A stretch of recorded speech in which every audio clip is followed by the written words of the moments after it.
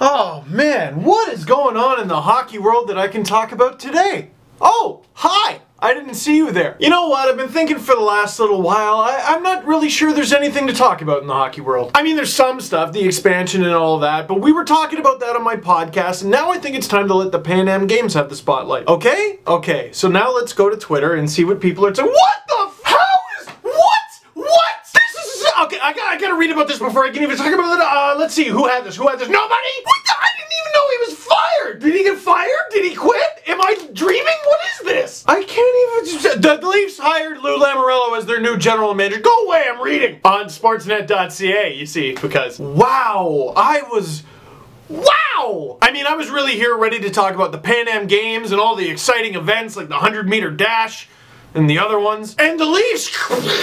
well, now I, I, guess I guess we start with the Leafs. Charlie's Angels are complete. Mark Hunter, Kyle Dubas, and Brandon Pridham. Those are the Angels. And Brendan Shanahan is Charlie. Good morning, Angels. Good morning, Shanny. What the Leafs have been lacking in this little structure that they've created is a Bosley. Lou Lamoriello is now Bosley. An old, old, such an old Bosley. Lou Lamoriello became the president of the New Jersey Devils in April of 1987. Kyle Kyle Dubas was born in November of 1986. Oh, this is gonna be the best buddy cop movie ever! Lou Lamoriello's career as an NHL president predates my career as a human being. Lou Lamoriello was born in October of 1942, which means he has been alive for nine Leafs Stanley Cups. Would have been alive for 10, but he was born a few months late for the one in 1942. Darn. I guess the 10th one will have to come now. As in this season. I'm kidding. I'm not crazy. All right, so here's the good with Lou Lamoriello. The Devils, for the longest time, were sick, disgustingly sick. A very good team. Three Stanley Cup wins, not to mention a few other berths in the Stanley Cup Finals. You could argue that the Devils have been a legitimate modern-day dynasty. The lights to go through there during Lamoriello's tenure include, oh, I don't know, Martin Brodeur, Scott Niedermayer, Scott Stevens, bunch of Scots. I grew up knowing the Devils as a boring team, but that's because I was cheering against them. When your team is boring, you know it as defensively sound. Games that end 1-0 are always more exciting when your team is the one instead of the nothing. The bad is, well, I don't know, maybe that whole Ilya Kovalchuk saga, which was like a big chunk of the most recent lockout. Devils kind of got fined, something about picks, I don't know. I certainly don't have Kovalchuk anymore. And let's look at the New Jersey Devils roster, and oh, look at that, it's in shambles. And is that gonna happen to the Leafs? My guess is no. Look, I know I like to yell and scream and go crazy and everything, and this is very unexpected news, and it came at a slow news cycle, and there's really not much else to talk about,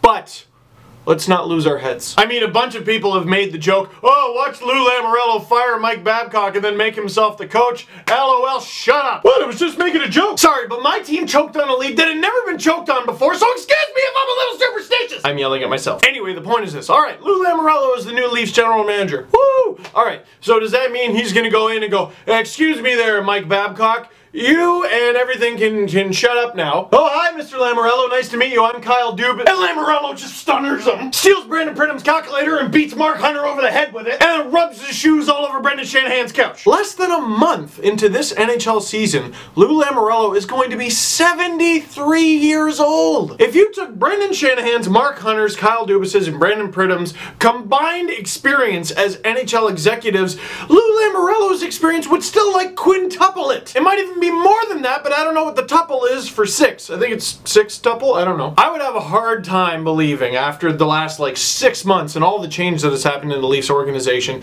that Brendan Shanahan would bring in a new GM, Lou Lamoriello, and tell him to huff and puff and blow the house down. He brings lots of experience. He's seen some ish, and odds are he's not going to tolerate your ish. But one thing I do know like that, it's all eyes on Lou. Like, oh, Carlyle's gone, Nonis is gone, and all of a sudden all the eyes start to focus on Shanahan. The draft comes around, there's a bunch of little moves, and everyone goes, ooh, Kyle Dubas, and ooh, Mark Hunter. Babcock, oh, oh, oh Kessel trade, oh, oh, oh, Lou Lamoriello hiring, what smokescreen? And they go back into the shadows a little bit. If I had to guess, and I may be severely wrong, you could almost give Lamoriello a interim GM status. Because I would be very surprised if a man of that age stayed in NHL GM that long. It's funny, because just yesterday I see pictures of Kyle Dubas at an Orlando Solar Bears press conference. Now some of you might not even know what the Solar Bears are. It's the Leafs ECHL affiliate. And he's introducing the new head coach, and he's taking pictures with the mascot. Hey, what's up? And I'm thinking to myself, When was the last time an NHL GM went to an ECHL press conference? Because that's not something I think an NHL GM would typically do. An assistant GM might. Today, boom. So what do you think about all this? Because I'm, I'm truthfully having trouble processing it. I'm not happy or sad. I don't know how to feel. I actually have no idea. Because it's not like they brought in Lamoriello to recreate the current incarnation of the New Jersey Devils. And it's a completely different era, so you can't recreate the past incarnation of them. So, what what is going on here? And uh, what's gonna happen next? I don't even know. I don't even know what is gonna happen.